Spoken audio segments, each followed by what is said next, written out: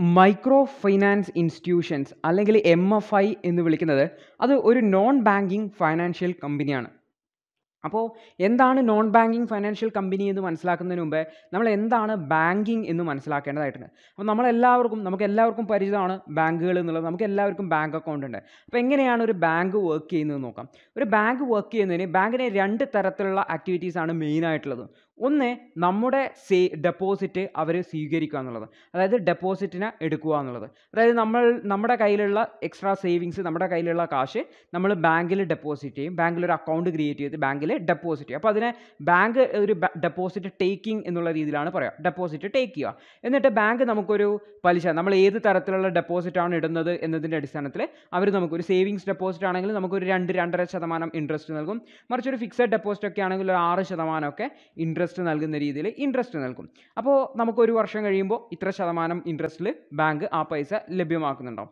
അപ്പോൾ അതാണ് ബാങ്കിന്റെ ഒരു സൈഡ് എന്നിട്ട് ബാങ്ക് എടുക്കുന്ന ഈ ഒരു കാശ് ബാങ്ക് എന്താ ചെയ്യുക? ബാങ്ക് മറ്റുള്ളവർക്ക് ലോൺ കൊടുക്കും. ലോൺ കൊടുക്കുക എങ്ങനെയാണ് ഇൻട്രസ്റ്റ് കൂടിയ നിരക്കിലായിരിക്കും. അതായത് ആറ് ശതമാനത്തിനൊക്കെ എടുക്കുന്നത് പത്ത് ശതമാനത്തിനുള്ള ലോണായിട്ട് കൊടുക്കും. രണ്ട് ശതമാനത്തിനൊക്കെ എടുക്കുന്നത് അവരുടെ ഏഴ് മുതൽ എട്ട് ശതമാനമുള്ള ലോണിലൊക്കെ ആയിട്ട് കൊടുക്കും. അപ്പോൾ ഈ ഒരു ഇൻട്രസ്റ്റിലുള്ള വ്യത്യാസം ഉണ്ടല്ലോ. അതായത് ഒരാൾക്ക് കടം കൊടുക്കുന്ന സമയത്ത് അവർക്ക് ആറ് ശതമാനം ഇൻട്രസ്റ്റ് കിട്ടി. പക്ഷേ അവർ നമുക്ക് നൽകേണ്ടത് രണ്ട് ശതമാനമോ മൂന്ന് ശതമാനമാണ് ഡെപ്പോസിറ്റ് എടുത്ത്. അപ്പോൾ ഇങ്ങനെയുള്ള ഈ ഒരു വ്യത്യാസമാണ് ആക്ച്വലി ബാങ്കിങ്ങിന്റെ ബാങ്കിന്റെ മെയിൻ ആയിട്ടുള്ള വരുമാനം എന്ന് പറയുന്നത്. മറ്റു തരത്തിലുള്ള വരുമാനമൊക്കെ ഉണ്ട്. എങ്കിലും മെയിൻ ആയിട്ടുള്ള ബാങ്കിന്റെ ആക്ടിവിറ്റി എന്ന് പറയുന്നത് ഇതാണ്.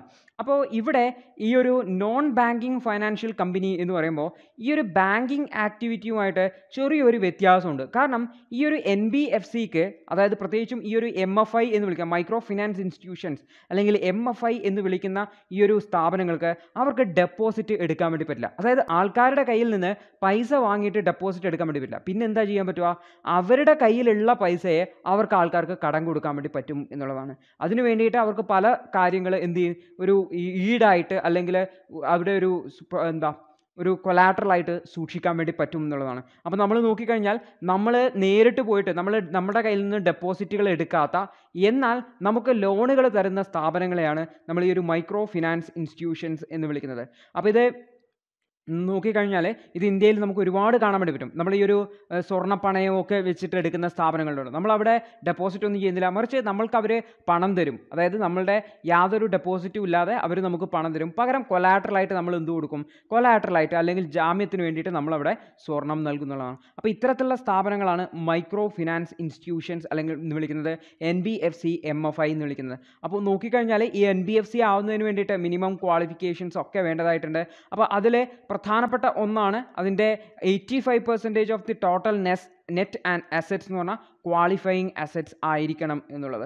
അപ്പോൾ എന്ന് വെച്ചാൽ അതായത് ഒരു സബ്സ്റ്റാൻഷ്യൽ പീരീഡിലേക്ക് ഉപയോഗിക്കാത്ത അല്ലെങ്കിൽ വിൽക്കാൻ ഉപയോഗിക്കാത്ത ഒരു ക്വാളിഫയിങ് അസറ്റ്സ് എന്ന് പറഞ്ഞാൽ പെർമനന്റ് ആയിട്ടുള്ള ഒരു അസറ്റ് കുറച്ചൊരു കുറച്ച് നിശ്ചിത കാലത്തേക്ക് ഉപയോഗിക്കാത്ത പെർമനന്റ് ആയിട്ടുള്ള അസറ്റ് കാരണം അങ്ങനെയുള്ള ഒരു സ്ഥാപനത്തിന് മാത്രമല്ലേ ഇങ്ങനെ കടം കൊടുക്കാനും ഒക്കെ പറ്റുകയുള്ളൂ. അപ്പോൾ ഈ ഒരു സ്ഥാപനങ്ങൾ നമ്മുടെ രാജ്യത്തെ സംബന്ധിച്ചപ്പോഴും വളരെ പ്രധാനപ്പെടുന്നത് കാരണം നമുക്കറിയാം നമ്മുടെ ഈ ഒരു കാർഷിക മേഖലയിലുള്ള ആൾക്കാരെ മറ്റുള്ള ആൾക്കാർക്കൊക്കെ വളരെ വേഗത്തിൽ ലോണുകൾ ലഭിക്കുന്നതിന് വേണ്ടിയിട്ട് ഇത്തരത്തിലുള്ള മൈക്രോ ഫിനാൻസ് ഇൻസ്റ്റിറ്റ്യൂഷൻസിനെ ഡിപ്പെൻഡ് ചെയ്യുന്നുണ്ട്.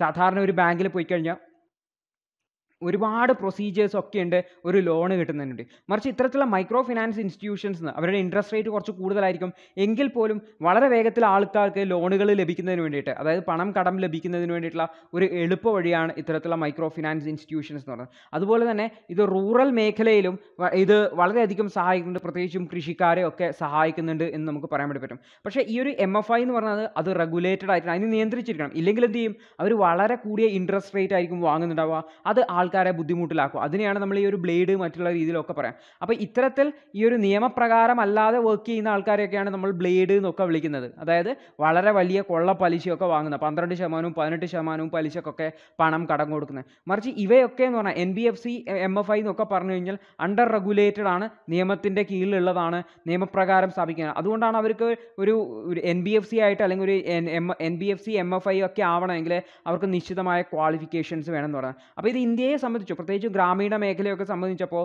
വളരെ കുറഞ്ഞ പലിശയ്ക്ക് അല്ലെങ്കിൽ വളരെ വേഗത്തിൽ ലോണുകൾ ലഭ്യമാക്കുന്നതിന് വേണ്ടിയിട്ടുള്ള ഒരു ഹെൽപ്പ് തന്നെയാണ് എം എഫ് ഐ എന്ന് പറയുന്നത്. എങ്കിലും ഇവയുമായി ബന്ധപ്പെട്ട ഒരുപാട് ഇഷ്യൂസ് ഉണ്ടെന്ന് പറഞ്ഞത് അപ്പോൾ നമ്മളൊരു പ്രിലിമിനറി വ്യൂ പോയിന്റിൽ എന്താണ് ഈ ഒരു N B F C M F I എന്ന് അറിയണം. കാരണം ഇവർക്ക് ഡെപ്പോസിറ്റ് ടേക്ക് ചെയ്യാൻ വേണ്ടി പറ്റില്ല ലോണുകൾ കൊടുക്കാൻ വേണ്ടി പറ്റും എന്നുള്ളത് നമ്മൾ കൃത്യമായിട്ട് മനസ്സിലാക്കേണ്ടതായിട്ടുണ്ട്.